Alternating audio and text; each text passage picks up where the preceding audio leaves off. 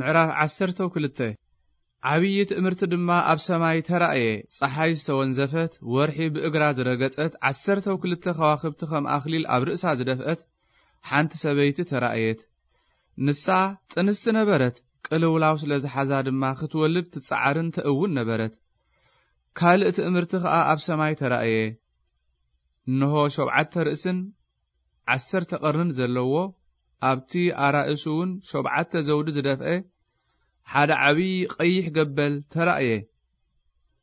ብጭራኡ ድማ ሲሶ ከዋኽብቲ ካብ ሰማይ ስሒቡ ናብ ምድሪ ደርበየ። እቲ ገበል ሽዑ ምስ ወለደት ነቲ ህፃን ምእንቲ ኺውሕጦ ኢሉ ኣብ ቅድመታ ክትወልድ ዘቐረበ ሰበይቲ ደው በለ።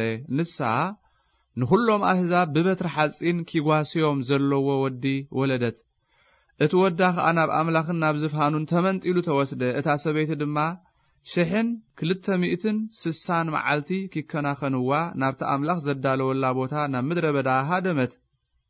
ኣብ ሰማይ ከዓ ውግእ ኾነ። ሚካኤልን መላእኽቱን ነቲ ገበል ተዋግእዎ። እቲ ገበልን መላእኽቱን ድማ ተዋግእዎም እንተኾነ እቲ ገበልን መላእኽቱን ተሳዕሩ። እቲ ኣብ ሰማይ ዝነበረ ቦታኦም ኣጥፍኡ። እቲ ንብዘላ ዓለም ዘስሓታ ዓብዪ ገበል ተደርበየ ንሱ እቲ ዲያብሎስ ወይ ሰይጣን ዝበሃል ናይ ጥንቲ ተመን እዩ። ናብ ምድሪ ተደርበየ መላእኽቱ እውን ምስኡ ተደርበዩ። ኣብ ሰማይ ከዓ ዓው ብዝበለ ድምፂ ሕጂ ምድሓንን ሓይልን መንግስትን ናይ ኣምላኽና ኮይኑ እዩ። ስልጣን ከዓ ናይቲ መሲሑ ኮይኑ እዩ። ከመይ እቲ ለይትን መዓልትን ኣብ ቅድሚ ኣምላኽና ዝኸሶም ዝነበረ ከሳስ ኣሕዋትና ተደርብዩ እዩ። ሳላ ደም እቲ ገንሸልን ሳላቲ ዝሰበኽዎ ቓል ሓቅን ድማ ሰዓርዎ ንህይወቶም ከየናሕሰዩ ክሳዕ ሞት በጽሑ። ስለዚ ኣቱም ሰማያትን ኣቱም ኣብኣቶም እትነብሩን ተሓጐሱ።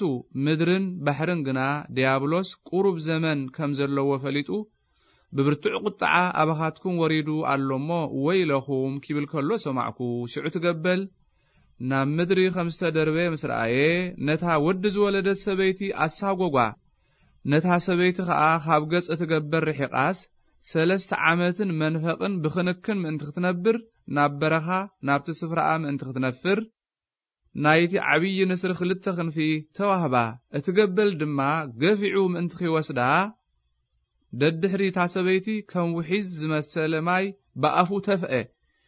ምድሪ ግና ነታ ሰበይቲ ረድኣታ እታ ምድሪ ኣፋ ኸፊታ ነቲ እትገበል ብኣፉ ዝተፍኦ ውሒዝ ሰተየቶ እቲ ገበል ከዓ በታ ሰበይቲ ተቖጥዐ።